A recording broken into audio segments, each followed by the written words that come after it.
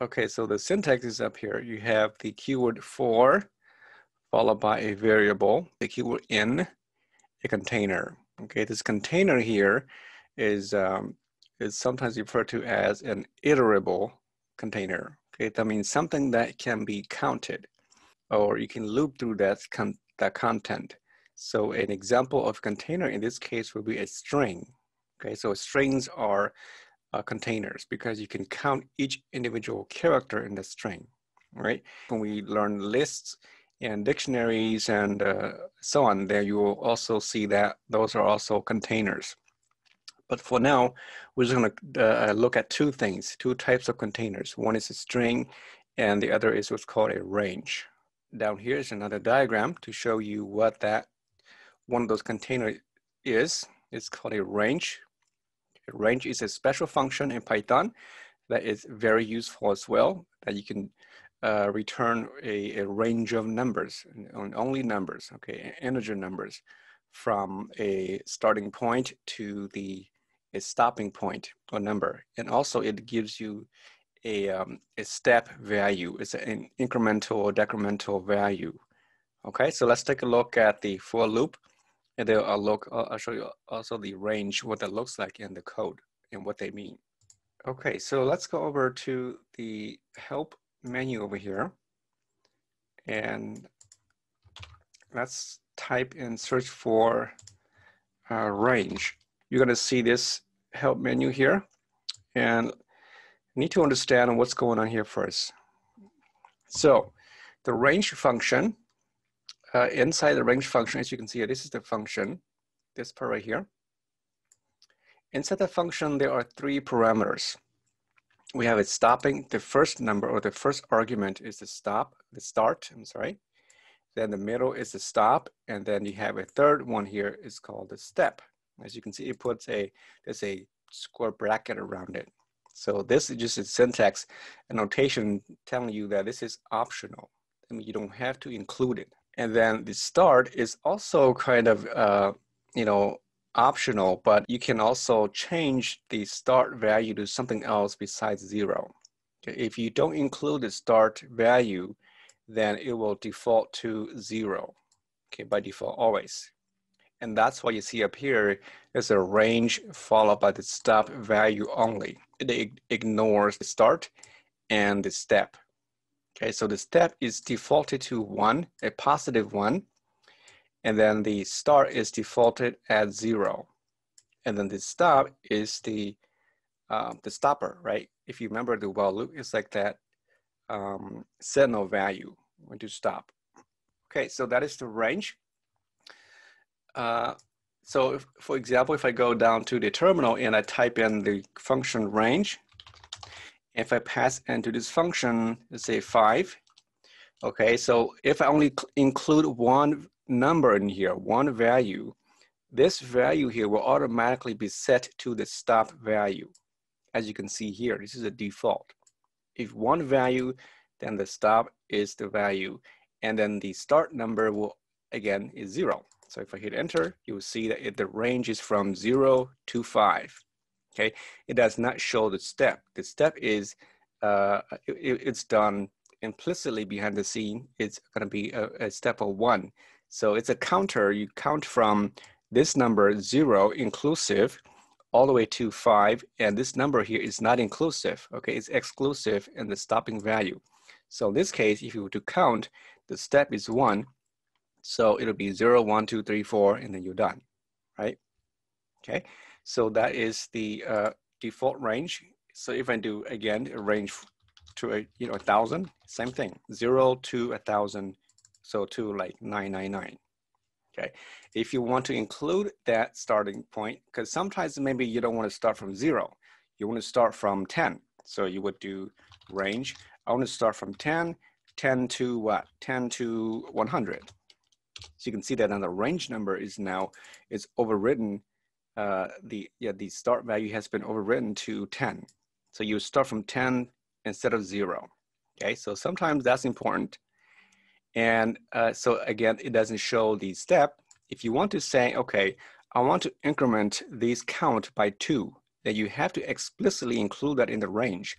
So you would do like range from 10 to 100 um, and print every, you know, other number, right? So you're skipping two numbers. In this case, I'm printing 10, 12, 14, 16, right? And then once I reach, there's a, there's a counter that's going on behind the scene, which you don't see. This counter will, will increment as you use the for loop, you'll see in a minute. Once you reach the number 100, if once it exceeds that, or reach that point, then it's no longer true, it, it would stop. To go the other direction, you can also go negative by setting this third variable to a negative value. So if you want to do that, you have to explicitly do that as well. So if you want to count from 10 down to zero and go into negative direction by two, okay? So you count 10 first because you are starting here. So if you if you're reversing the direction, just make sure that the starting value is larger than the stopping value. As long as the starting value is greater than the zero, because I'm going negative direction, then it will run. Okay, so you can go positive or negative direction. Just make sure you swap the two numbers here. So that is pretty much the range. And the range is, is important because it's, it's a really important part of the for loop. So let's go over here and uh, write our for loop. So the for followed by a variable name. Okay, so if you want to print a number like we did before with the while loop from, you know, a one to 10. So you would do something like from a number, any number, n, just a variable name, and the range from zero to 10, right? And the step is again a, a plus one. So remember that 10 is not inclusive. So in this case, I'm going to print only from 0 to 9. If I print the n value, you're going to see that it's going to print 0 to 9 only. As you see over here. Okay, the 0 to 9, because 10 is not inclusive. If you want to include 10, then you have to put 11 here. So now I print from one to um, zero to 10. So just remember that this is not inclusive, the stopping value. Even if you go the other direction, if you want to go the negative direction, then the third variable over here has to be a minus one if I'm counting one at a time from right from what to what. In this case, I'm not going to get anything because it's already false because the from value is already larger than this, I mean, smaller than the stop values, therefore it's going to be false. If you see that if I print and run, it's not going to show anything in my console. Okay, nothing gets printed. That's why it must be carefully uh, uh, designed. So let's say from 10 down to zero.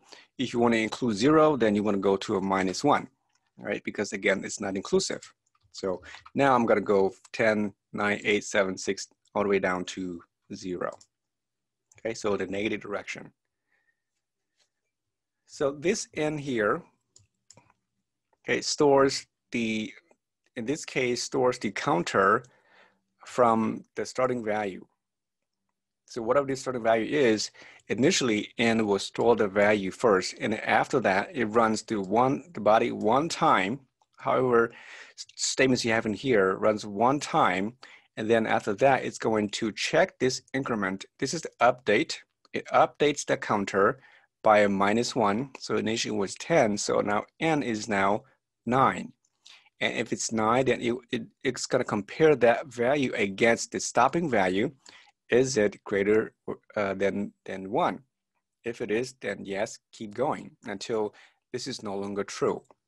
Okay, so that's happening behind the scene, uh, um, which is why you saw earlier that initially when I put a zero here, it didn't work. But something more meaningful is, for example, if you want to print, um, say that the first three characters of a word, and the word is going to be, let's say Python, this three here. So what you do is n starts at zero because we didn't input it, we didn't include it, so it's zero.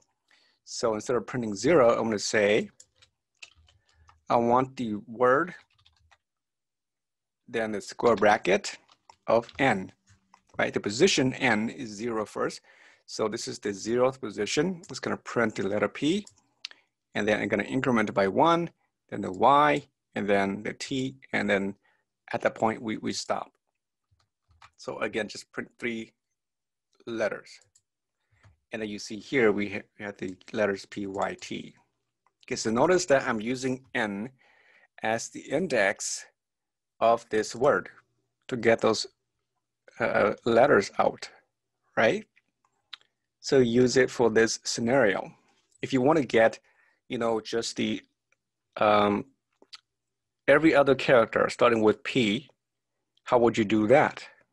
You can just go over here and change the range.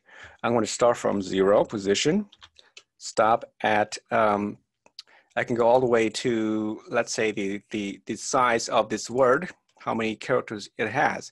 Well, I don't know. You can know by using the function called len, right? The length of the word that gives you the total characters in this word, how many there are, it will give you that.